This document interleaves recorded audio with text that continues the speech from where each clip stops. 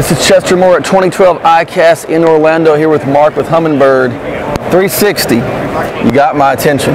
Yeah, it's a really, really exciting, another innovation from Humminbird out there in the market. The 360 module that you're looking at here uh, basically delivers this pod here which is the uh, is the sonar pod that gives you the incredible 360 degree imaging. Um, it deploys from the unit. Is there's a there's a setting on the unit, but as well as you can manually do it here. You can see the pod will extend down. You can vary this down from anywhere from one inch to 29 inches down to customize it for your particular boat. So if you've got a very deep hull boat, boat you want to go all the way down. All the way down. But if you know you don't have to go all the way down and this can be adjusted again anywhere in there.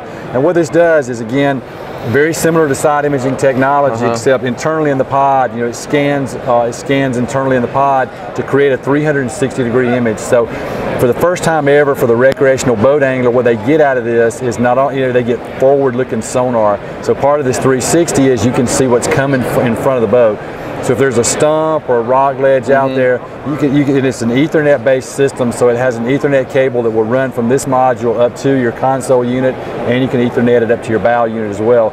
So you can be sitting on your bow unit and watching as you're ready to fish with your rod in your hand. You can watch that creek channel, river ledge coming at you or, or, or coming towards you, and you can position your boat and you can actually position your cast out there. You know how far out the object is, you know what angle it's at, and you mm -hmm. can mm-hmm. make a precision cast. So that's really the key difference between this and side imaging is while side imaging is great for finding structure, you can't really fish the structure. With this, it's at its best when you're sitting still fishing the structure and understand exactly where you go. Now how far out each direction? So up to 150 feet in each mm -hmm. direction, so 150 feet radius out there, and then 150 feet maximum depth and uh, maximum depth. And then uh, it works with any of our current line uh, side imaging Ethernet products, which today is the 798 HD, 898, 998, and 1198. And um, with, you know, if you've already owned those products, yeah. you don't have to make an additional purchase except yeah. buy this module here, which retails for uh, 19.99. Wow! In the marketplace, and then you uh, do that and just link that up there. But uh, this is an exciting, you know, just one particular application that I absolutely love that bass guys are going to go crazy about is, you know, again, you're bed fishing, you know, and it's a little bit chop on the water, you can't see the bed, a little bit of muddy water, whatever. This guy can show those beds and see the beds crystal clear out in front of you. You can actually target directly to those beds while you're sitting still there. Well, you know, Kevin Van Dam showed us, Roy and I filming here, the side imaging when it was kind of the new thing. Right. And right. we were blown away with just what we were able to check out in that. So I can't imagine that these guys, Bass Pros, are going to eat this one up. Absolutely. It gives you just a complete view of everything that's within 150 feet of your boat. So you see the stump out to the left, the trees out to the right. You can see schools of fish with it. And you actually, if you target in on those, you can see them moving and actually see the fish if they're moving forward or after the boat. Now we're actually looking at 360 degree view right here.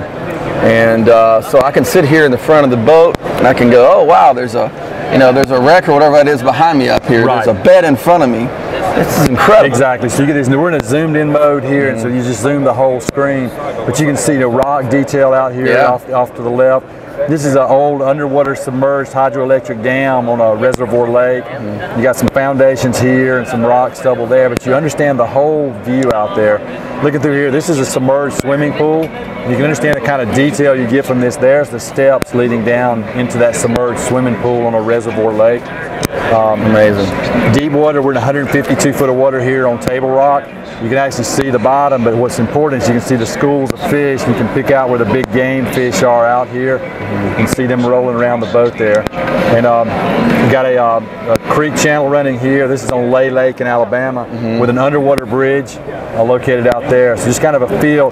The quality of it is very similar to side imaging, yeah. except being just what flows behind the boat. You now have a complete command of, of everything in 360 degrees of the boat there. That's great. Man. You can also another feature is why you're you can split screen between the 360 and your traditional 2D sonar, or you can put GPS over there as well.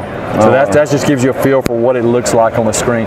Just like with side imaging also, So if you see this uh, foundation you want to mark it, you just cursor right out to that, mark it, and you mark the GPS waypoint where that structure is out there. So that's a real key feature there as well. You can also another great feature about this thing is you can target certain areas. So you can you can you don't have to go 360 degrees.